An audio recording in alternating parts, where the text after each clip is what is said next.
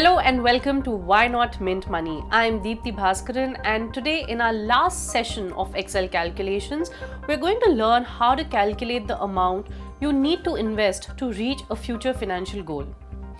Understanding how much to invest is important when you're clear about your financial goal.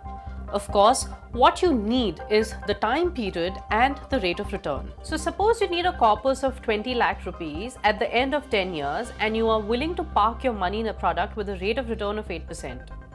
What you want to know is how much you should invest every year to reach your financial goal. So you go to the FX on Excel, select financial and in that select PMT.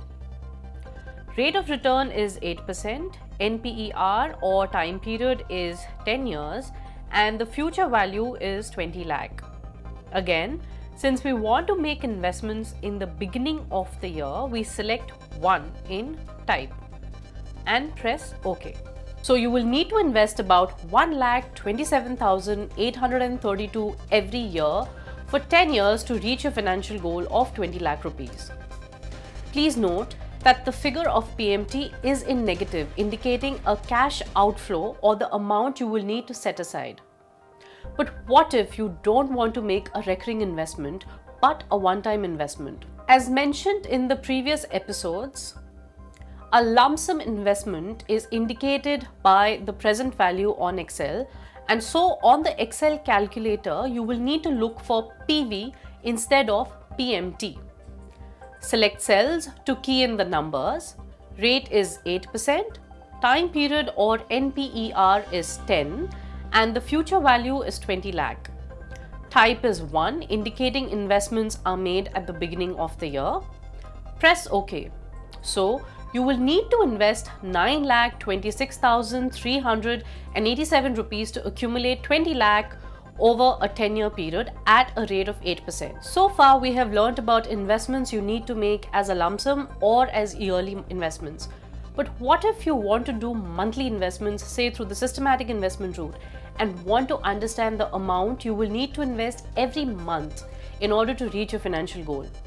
Well, Excel has answers to that too. The future value remains 20 lakh. Your NPER or the time period in this case is 120 months because this is the number of months you want to invest for.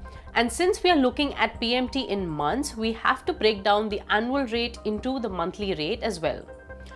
You need to put an equal to sign when you're doing direct calculations on Excel. You put an equal to sign here followed by 8% which is divided by 12 to get the monthly rate. Here you go. Now you need to calculate for PMT. Again, go to FX, select Financial and select PMT. Select B4 for rate.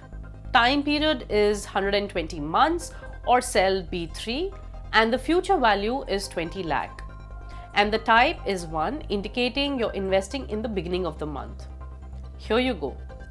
So you will need to invest 10,860 rupees every month to reach your financial goal.